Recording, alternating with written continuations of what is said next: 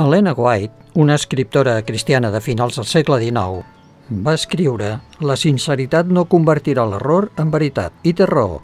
Imagina't que prenc un verí pensant que és aliment. Si me'l prenc i estic convençut que és un aliment, això no treu que pateixi les conseqüències i em moriré o em posaré molt malalt. El mateix ens passa amb la vida. Hi ha vegades que estem convençuts de que estem fent el correcte i no és així. L'única manera de no caure en aquest tipus d'error és anar a una autoritat, a una referència, i informar-nos de si de debò el que estem fent és correcte o no.